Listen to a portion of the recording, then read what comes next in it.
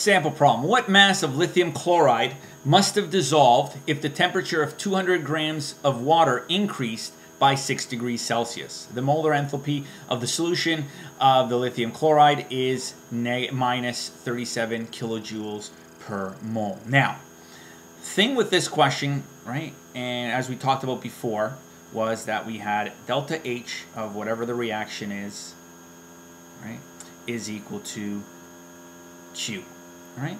So whatever the reaction is and pretty much um, our surroundings, right? So in this reaction, we've got lithium chloride, right? So now this lithium chloride value, right, this delta H, we are getting um, to be a minus 37 kilojoules per mole, which means this Q value because this side, if this side is negative, this side is going to be positive, right? So if this side is negative, right, that means this reaction, right, this temperature, notice this temperature, the temperature of the surroundings of the water of this increased, right? So if the temperature increased, that means we know we have an exothermic reaction. So let's actually work this uh, this question out. So here's a list of some of the in important information uh, that we actually have. Uh, we've got a mass of 200 grams of water. We've got a delta T uh, of 6 degrees Celsius, which is uh, increased. We've got a delta uh, H of the solution to be 37 kilojoules per mole, right?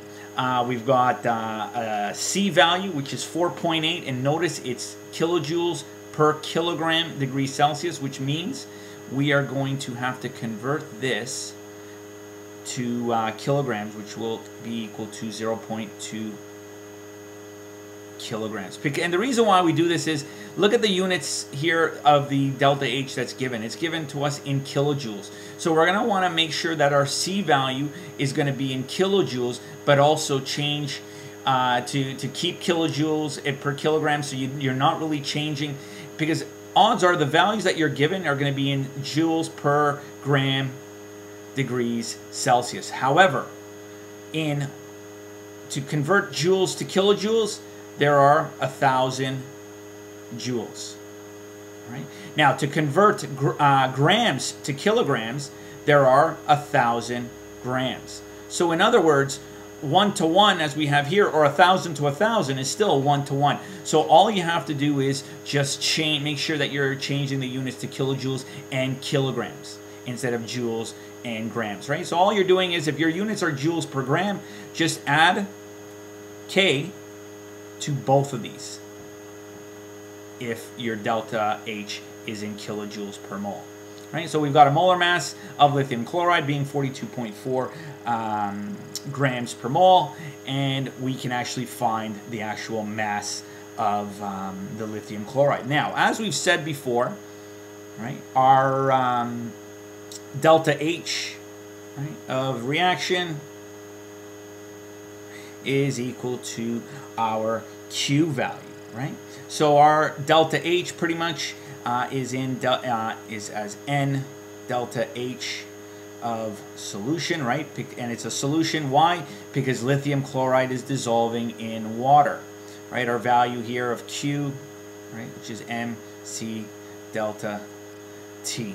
So here we have now our uh, N value. We can actually find the um, the number of moles um, and that's actually really what we're trying to find. We're trying to find the number of moles. So what we're going to do is we're going to get rid of this delta H of solution. So to do that, we're going to divide this side by delta H of the solution, divide this side by delta H of solution.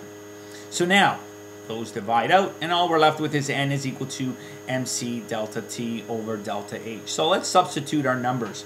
Now the mass here is the mass of the water, right? Because this is part of our Q. So our mass of the water, 0.2 kilograms.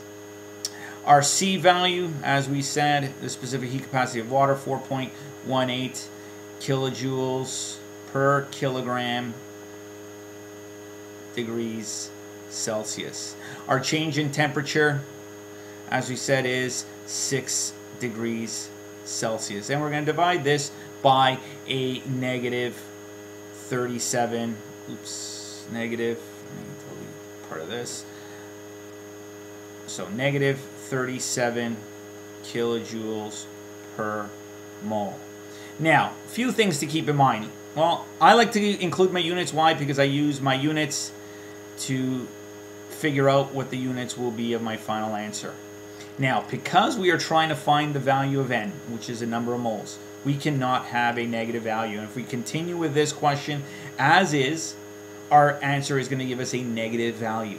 And in fact, we do not have a negative value. We cannot have a negative mole value. So what we're going to do is we're going to ignore this. But remember, because this delta H uh, of solution was 37 kilojoules per, per mole, right? This told us that we had an exothermic reaction, which means that energy or heat was released by the lithium chloride to the water. As a result of lithium chloride releasing heat, it released heat where? To the water. What happened to the water? It increased temperature. By how much? 6 degrees Celsius. So anyhow, let's go back to this question. So when we multiply all this out, um, we get a value. Uh, and I'm going to round it off. Just I'm going to do something I, I shouldn't be doing.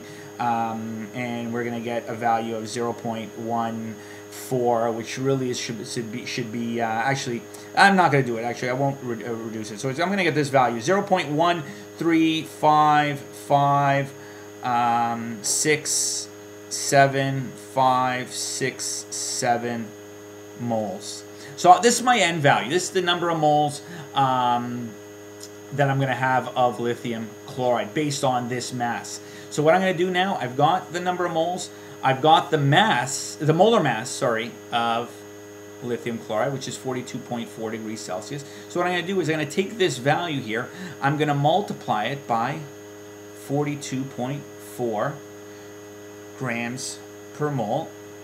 Again, keeping the units, moles divide out, all I'm left with are grams. So the mass of the lithium chloride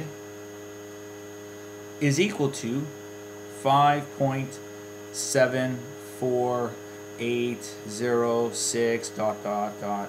Keeps going right? Grams. But least number of significant digits in my question are 2 so this 5.7 uh, are my two uh, decimal uh, significant digits. So the mass is equal to 5.7 grams so in other words, the mass of the lithium chloride that's required to raise this temperature by of the water by 6 degrees Celsius when it dissolves in the water, right, is going to be 5.7 grams.